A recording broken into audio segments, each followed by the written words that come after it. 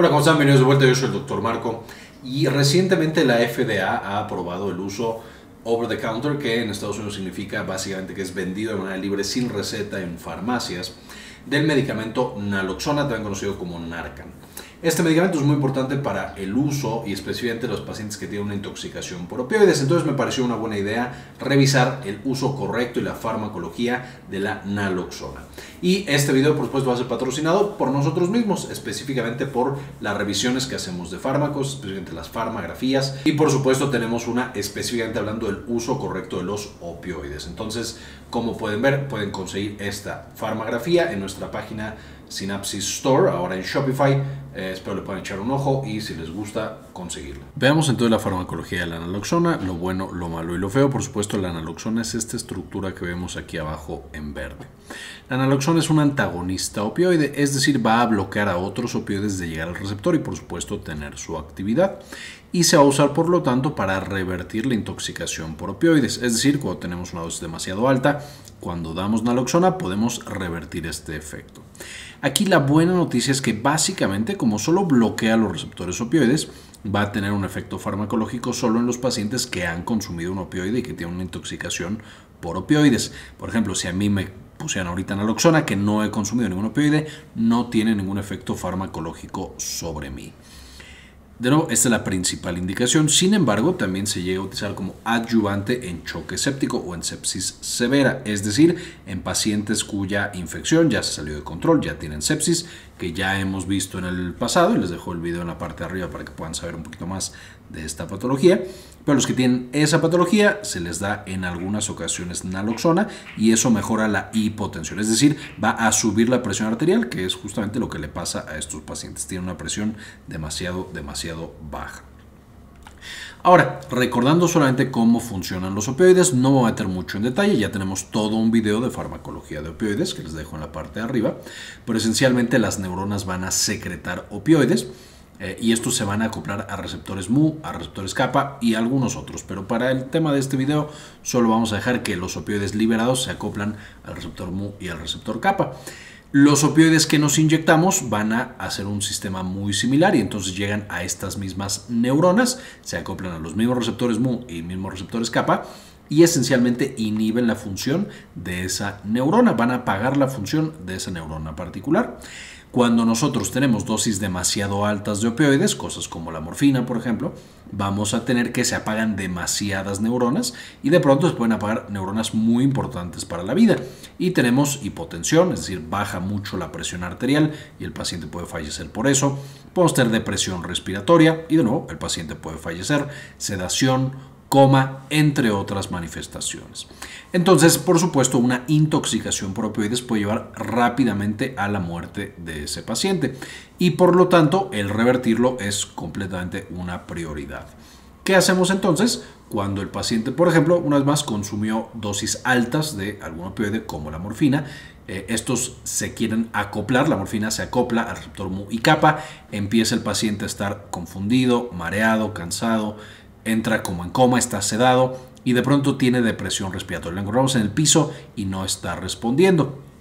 En ese momento, si nosotros administramos esta naloxona, esencialmente la naloxona quita a la morfina de los receptores y las neuronas vuelven a despertar y vuelven a tener actividad. Deberíamos ver rápidamente cómo el paciente vuelve a respirar, por supuesto es lo primero. Tendríamos que ver cómo el paciente empieza a subir su presión arterial, por supuesto si podemos ver la presión, y también vamos a ver cómo el paciente despierta después de un tiempo. Ahora, a pesar de que la naloxona le salva la vida a los pacientes que tienen una, intoxicación por opioides, no resuelve por completo el problema. Y ahorita lo vamos a ver, pero hay veces que la naloxona tiene un efecto no deseable en los pacientes, que ahorita vamos a mencionar, o que la naloxona dura muy poquito y se vuelve a pegar la morfina después y vuelve a hacer que el paciente caiga en depresión respiratoria. Entonces siempre después de administrar la naloxona a un paciente con intoxicación, vamos a necesitar llamar a urgencias, a que justamente vayan por el paciente, lo lleven a una institución hospitalaria y le den un manejo más avanzado. ¿Cuáles son los eventos adversos? De nuevo, en un paciente que no consumió ningún opioide, esencialmente la naloxona no tiene efectos. Es así de seguro este medicamento. Eh, hay algunos que pueden llegar a tener alergia a la naloxona, pero es extremadamente raro. Entonces, básicamente podríamos considerar que un paciente que no consumió opioides no le hace nada la naloxona. En un paciente que sí consumió opioides, especialmente si ha consumido opioides por mucho tiempo, meses, por ejemplo, dosis cada vez más altas, entonces lo más común es que tengamos síndrome de abstinencia. Y este síndrome de abstinencia básicamente es una reversión de todo lo que generan los opioides.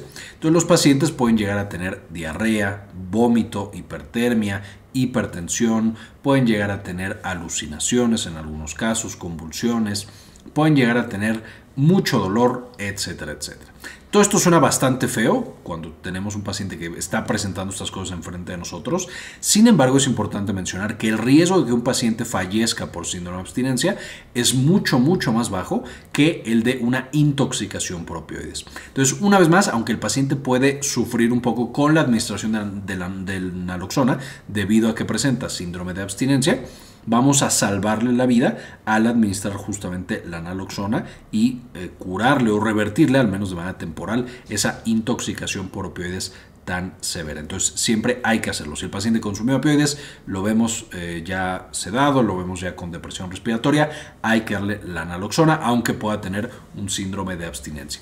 Y por supuesto, por este síndrome de abstinencia potencial, que se da relativamente rápido, en los primeros minutos después de la administración puede empezar vamos a necesitar llamar a un equipo de urgencias que lo lleven al hospital y que ahí le den un manejo más integral.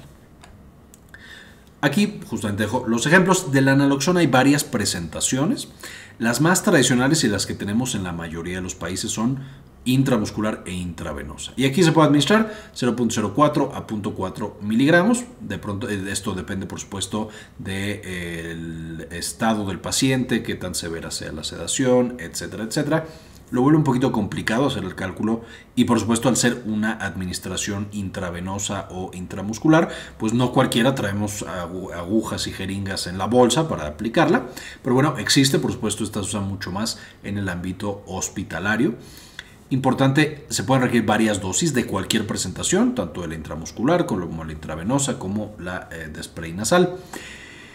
La que más se utiliza en el medio extrahospitalario y es justamente la que aprobó la FDA para que se venda literal en farmacias y que los pacientes deberían tener si están consumiendo de manera crónica opioides por alguna indicación, es el spray nasal. Este contiene 4 miligramos en cada disparo del spray.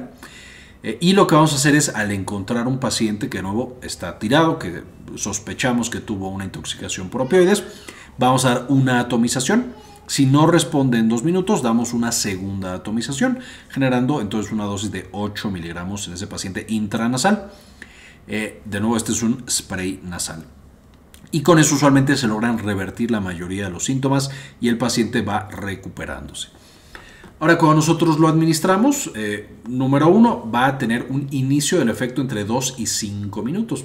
Esto es muy importante entonces que lo hagamos lo antes posible. Un paciente que no está respirando, que esperamos 2 minutos, por supuesto puede tener un daño extremadamente severo, incluso si se recupera de la intoxicación por opioides. Ya vimos también que si no responde en 2 minutos, doy ese segundo spray, ese segundo atomización para que el paciente logre recuperarlo. El tiempo del efecto va a ser de 30 a 90 minutos, dependiendo de varias, eh, varios factores. Pero esto significa que si en 30 minutos no está el paciente en el hospital y, por ejemplo, consumió un opioide de larga duración, muchas veces el opioide sigue en la sangre. Entonces, a los 35 minutos vuelve a tener una depresión respiratoria y el paciente vuelve a estar al borde de la muerte, básicamente. De nuevo, subrayando la importancia de llevar lo más rápido posible al paciente al hospital incluso cuando ya le puse ese spray nasal o ya le apliqué su dosis de naloxona. Evidentemente toda persona debería tener, cuando está usando de manera crónica opioides, debería tener naloxona, porque justamente los pacientes que tienen una dependencia o que simplemente lo requieren por motivos médicos, el riesgo de que tengan una intoxicación por opioides, especialmente cuando van incrementando las dosis para manejar el dolor o algo así, pues va incrementándose también. Mientras mayor dosis de opioide, mayor riesgo de depresión respiratoria. Y por lo tanto, la naloxona debería ser parte del instrumental médico que tiene ese paciente disponible. Y por supuesto, decirle a mis familiares, a mis cuidadores, sabes que la naloxona está aquí, eh, en este buró, en este cajón, se usa de esta manera. Si me ves tumbado y sabes que ya me apliqué mis, eh, el opioide que estoy utilizando, me lo aplicas inmediatamente y llamas a un servicio de emergencia.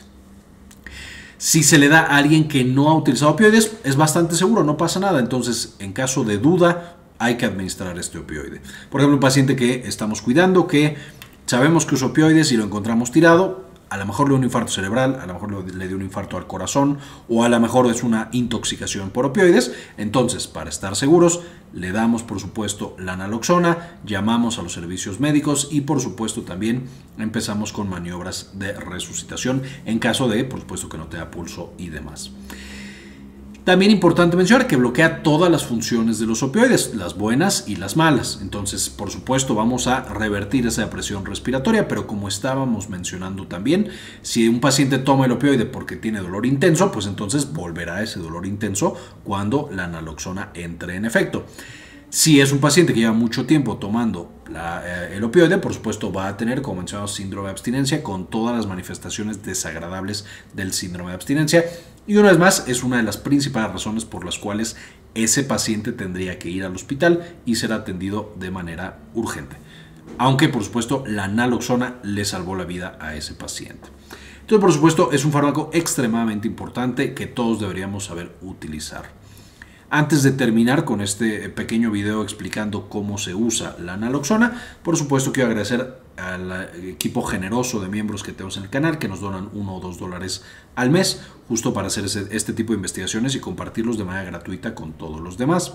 Y este video se lo dedico a Mariana Nevares, Farmacias Asociadas de Ecuador, Moni Leigh, Alicia Pereira, Laura Elena Barojas, Leonor Paves Cabezas, Diego Aceves, M, Ferdinand Fernández, Aldo Novelo, María Eugenia, Jorge C. Beltrán, Mike Angelo, Delia González, Doctora Milis, Saúl Reyes, Doctora Susana Vidal, Gilberto Argueta, Javier Mejía, Sandy Oliva, Enrique Segarra y Cindy Magaña Bobadilla. Muchísimas gracias por el apoyo que nos brindan cada mes. Con esto terminamos. Les dejo las referencias para que puedan ustedes también estudiar mucho más de este fármaco tan tan importante.